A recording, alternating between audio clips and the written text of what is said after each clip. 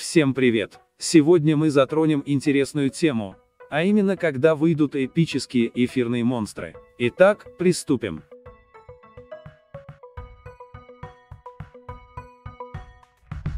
Эпические эфирные монстры. Что вы представляете, когда вы слышите эти слова? Я представляю эпического Буду. В игре поющих монстрах насчитывается 8 эпических монстров, три из которых это двухэлементники, которые вышли относительно недавно. Первый эпический двухэлементный эфирный монстр была Щопа. Она вышла на первую формулу жизни в 2023 году на острове Эфира.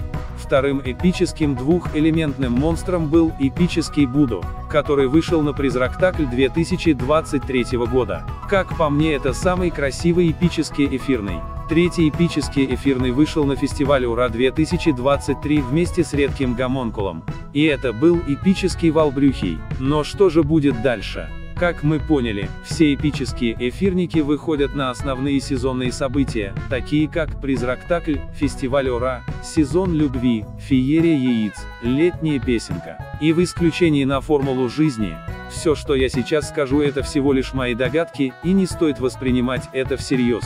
Я составил примерные даты на эпических эфирных монстров.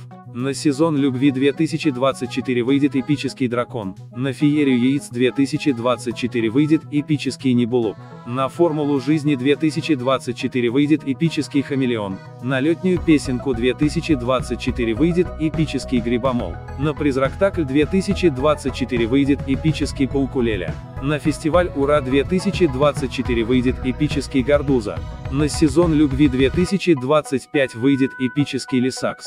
На феерию яиц 2025 ничего не будет, но будет отдых перед эпическим Карабасом на формулу жизни 2025. Разработчиками официально сказано, что все эфирные эпические монстры выйдут к формуле жизни 2025. И как раз моя теория с выходом эпиков совпадает.